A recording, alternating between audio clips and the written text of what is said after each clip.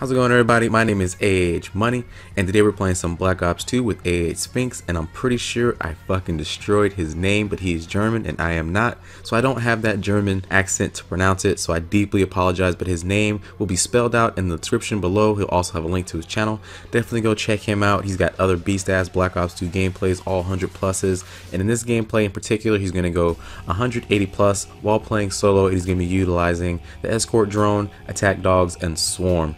His gameplay is actually pretty unique in the sense that when most high scoring gameplays, someone is utilizing a VSAT. That is not the case in this game. He's actually using all assault streaks and he's actually running solo, so he has no support. So he's got very good map utilization and knowledge of where the enemies are, which in the long run helps. Because if his teammates don't know where the enemies are, he can definitely rack up a lot more kills, and that's exactly what he does. Now, if you guys aren't familiar with me, I am usually seen on AH, the pubstomping channel, but today I'm actually getting a guest commentary on the Elite channel, so that's why you're listening to me here.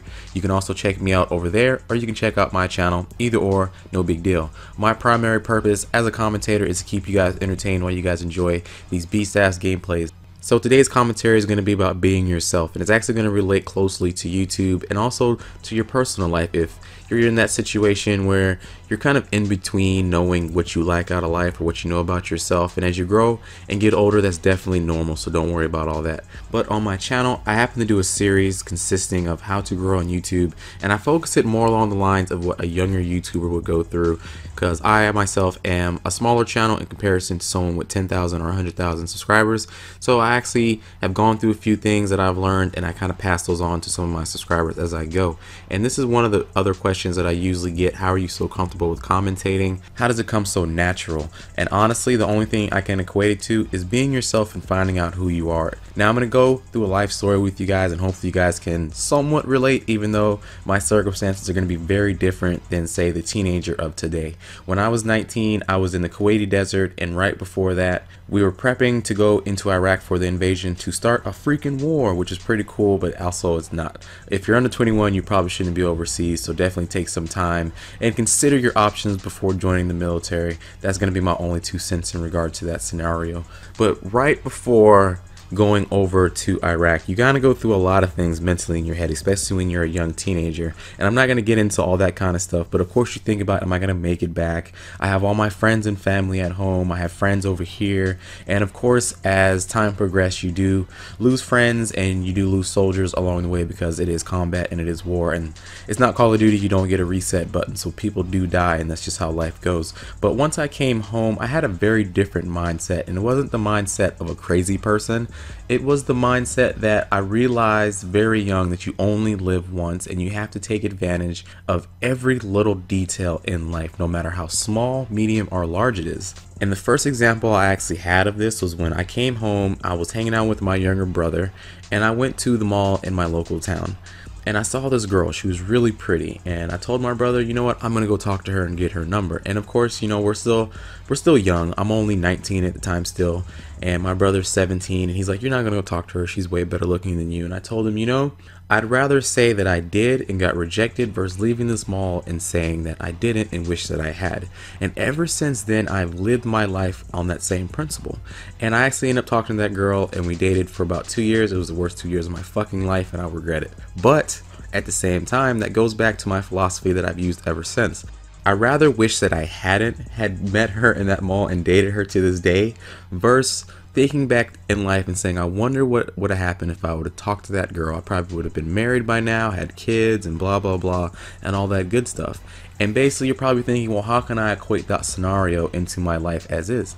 Well, basically, from that day forth, I'd always say, you know, I'm going to do as I wish and I'm going to regret the consequences later on. Now, I'm not going to go rob a bank because obviously that's morally and ethically retarded.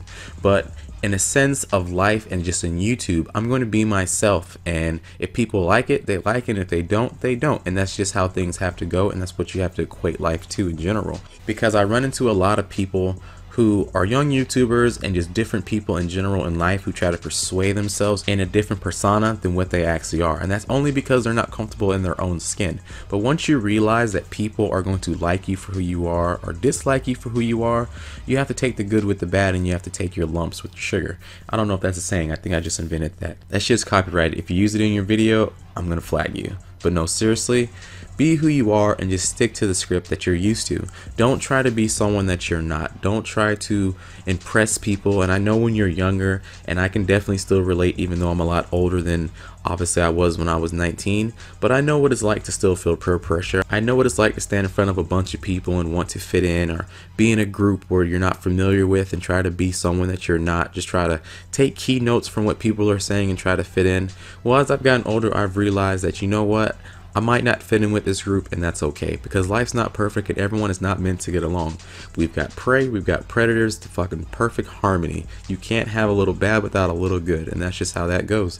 So definitely be yourself. Remember that you can't force yourself upon people. A lot of people do that and they end up with negative results and don't know why. Just be who you are, stay true to yourself, and remember that till the end of days and you'll be good to go. Also remember, do a lot of dumb shit do a lot a lot of dumb shit. You'll get familiar with yourself very quickly once you do a whole bunch of dumb shit. You'll you'll realize i like that dumb shit or you know what? That was a big fucking mistake. But at the end of it you'll say you know what? I'm glad i did that and realize that i didn't like it or i did like it versus i wonder would have been like you know 10 years ago if I would have just took that chance or took that opportunity. And also that equates to YouTube. If you're ever watching these videos and you're thinking, you know what, I wish I could do that, I wish I could try that. Why wish when it's just as easy as purchasing some equipment and putting it to the test. So remember all that. Catch you guys next time. AH Money out.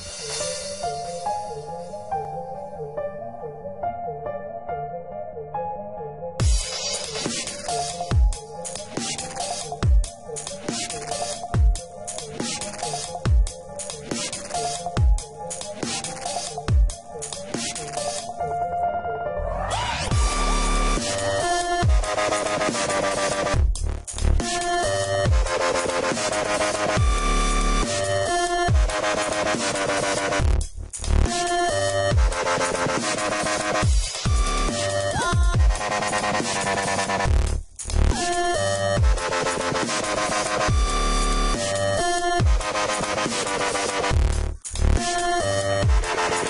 back.